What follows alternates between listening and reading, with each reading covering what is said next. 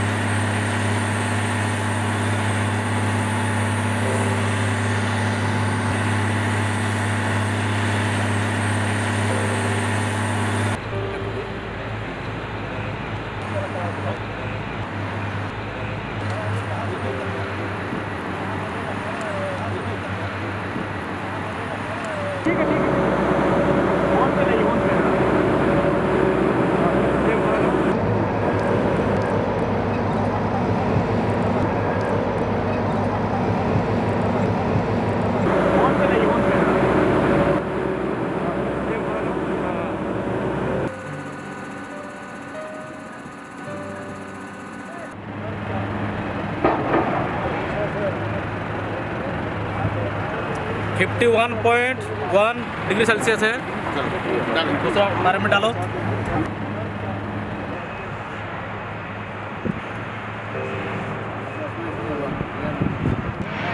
Sir करा वो final four लिखिए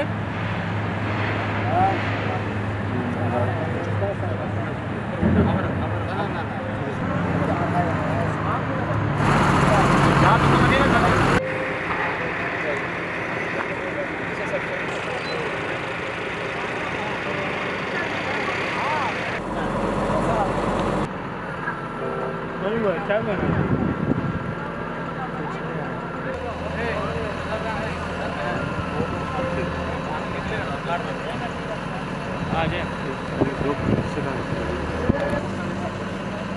फुल फुल पानी जरा इसको काटो थोड़ा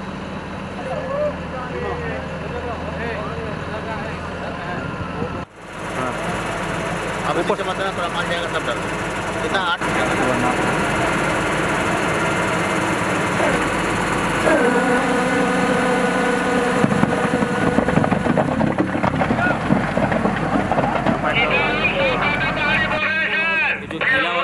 है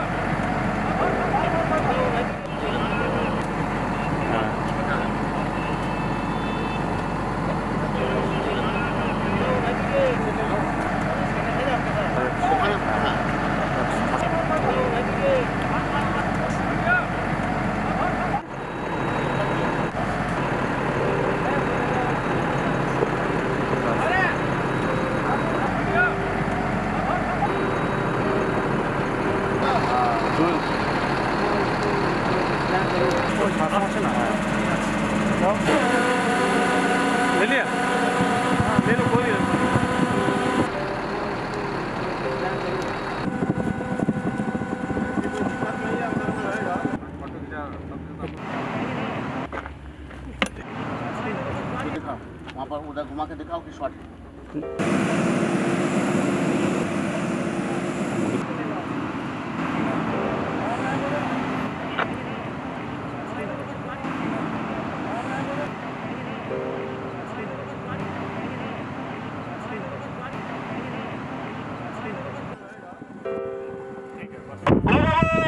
लीजिए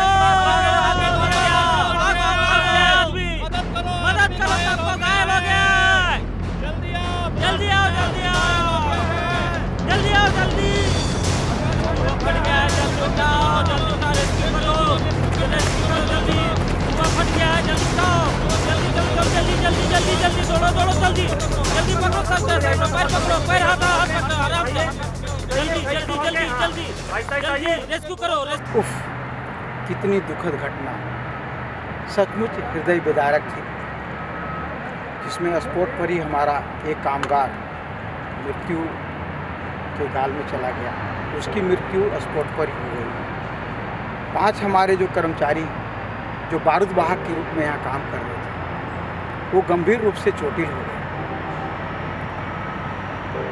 शुरू से आपने देखा होगा कि जब हमारा होल चार्जिंग हो रहा था तो होल चार्जिंग के पहले प्रॉपर वे में सभी होल का टेम्परेचर रिकॉर्ड किया गया। जब टेम्परेचर 50 या 60 डिग्री के वॉट में लगभग होल का था, जो बिलो 80 डिग्री सेंटीग्रेड था, तभी हमने चार्जिंग स्टार्ट की चार्जिंग स्टेमिंग कंप्लीट होने के बाद जब कनेक्शंस हो गए तो फिर डिटोनेटिंग फ्यूज को आगे ले जा कर के फिर डिटोनेटर से जोड़ दिया गया। फिर आपने देखा कि एक्सप्लोडर से ले कर के डिटोनेटर तक इलेक्ट्रिक डिटोनेटर तक शॉर्ट फायरिंग केबल बिछा हुआ था। जब ब्लास्टिक साइट पर हमारा बारूद वाहक और ओवरमैन मौजूद थे उस समय डिटोनेटर का डिटोनेटिव फ्यूज के साथ कनेक्शन नहीं करना चाहिए था। उसका कनेक्शन तब करना चाहिए था जो ब्लास्टिंग साइट से हमारे सभी कामगार सुरक्षित स्थान पर चले जाते या सुरक्षित एक शेल्टर ले लिए होते। उसके बाद एक और ब्लास्टिंग साइट पर हमारे कामगार मौजूद थे और उसी दरमियान ब्लास्टिंग सायरन बजा दिया गया। 12 सितंबर 2019 को जो ये दुर्घटना हुई थी, उस समय दूसरा सायरन कंप्लीट होते होते ये प्रीमेच्योर ब्लास्ट हो गया। उस समय हमारे कामगार जो बारूद वाहक थे पाँच और हमारा ओवरमैन, वो भी यहीं पर था और ब्लास्टिंग सायरन बजा दिया गया। उसके अलावा एक और चीज़ जो फाइंडिंग्स में हमारा आया इंक्वायरी में कि एक्सप्लोडर से इलेक्ट्रिक डिटोनेटर तक शॉर्ट फायरिंग केबल बिछा हुआ पाया गया। जब हमारे कामगार या कर्मचारी या बारूद वाहक हमारे इंचार्ज यहाँ पर हैं तो वो सब जो शॉर्ट फायरिंग केबल बिछा दिया गया वहाँ तक, फिर एक्सप्लोडर तक बिछा दिया गया है, वो नहीं बिछा हुआ होना चाहिए। जब सभी लोग सुरक्षित जगह पर चले जाएँ तभी उसका कनेक्शन करना चाहिए या शॉर्ट फायरिंग केबल का को बिछाना चाहिए। आपने यह भी देखा होगा कि एक्सप्लोडर अनअटेंडेड वहाँ रखा हुआ है। एक्सप्लोडर की की भी एक्सप्लोडर के बेल्ट में बंधा हुआ है। नियमतः एक्सप्लोडर ब्लास्टिंग इंचार्ज ओवरमैन जो होता है, उसके कस्टडी में रहना चाहिए। और उसकी की एक्सप्लोडर की की जो चाबी होती है, वो ब्लास्टिंग इंचार्ज के पोजीशन में रहना चाहिए। जब वो देखेंगे सभी सुरक्षित जगह पर चले गए हैं, उसके बाद ही वो एक्सप्लोडर के पास वो की अपने पॉकेट से निकालेंगे, फिर उसके बाद वो ब्लास्टिंग करेंगे। सही रूप से क्या है कि सुरक्षा के मानकों का या जिस तरह का डीजीएमएस के द्वारा गाइडलाइंस दिया जाता है, या कोल माइन रेगुलेशन में ब्लास्टिंग से संबंधित जितने भी नियम होते हैं, उसका यदि हम सही रूप से पालन नहीं करते हैं तो इस दुर्घटना का हम शिकार होते हैं। इसके पहले भी मैंने बताया था कि ये हॉट स्टाटा का ब्लास्टिंग है। हॉट स्टाटा में बहुत सारी सावधानियों को ऑब्ज़र्व करना पड़ता है, पालन करना पड़ता है। एक छोटी सी चूक आज इतने लोगों को घायल और एक हमारा कर्मचारी की स्पॉट पर ही मृत्यु हो गई। अंततः आपसे निवेदन है, मेरी विनती है कि सुरक्षा के मानकों का पूरी तरह से पालन करें। सुरक्षा के मानकों का पालन नहीं करने से इस तरह की दुर्घटना हो जाती है। सुरक्षा के मानक जो हैं, सो आपके सेफ्टी गाइडलाइंस में डीजीएमएस के सर्कुलर्स में या कोल माइन रेगुलेशन में यहाँ तक कि हॉट स्टाटा के ब्लास्टिंग में। आपको विस्तृत रूप से बताया गया है। कृपया आपसे पुनः निवेदन है कि उसको अच्छे से पालन करें और इस तरह की दुर्घटना से बचें।